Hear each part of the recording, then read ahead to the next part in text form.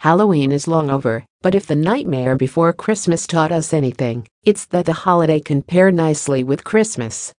While we won't see anyone dressed up as goblins or witches today, December 25, there's a solid chance that you'll see some people getting into the Christmas spirit by emulating Santa Claus. Even celebrities like Bella Thorne and Miley Cyrus have taken on the big red coat look, albeit in a sexy way. Hey, if you can turn any animal into a sexy Halloween costume by just adding ears, why can't you just put on a Santa hat and lingerie and call it a Christmas day?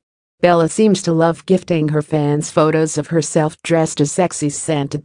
Last year, the Midnight Sun star posed in a Santa hat, a red bustier, a ruffled underwear and white stockings for a mega hot take on All Saint Nick. She completed the look with opera gloves and a sultry makeup look. In 2016, Bella also amped up the traditional Kris Kringle attire by donning a red baby doll dress trimmed with white fur and striped thigh-high stockings. Her short skirt also revealed her garter belt underneath. She seemed to really love this look because she posted a throwback to it this year. We loved all of Bella's sexy versions of Father Christmas, but she's not the only celeb to sex up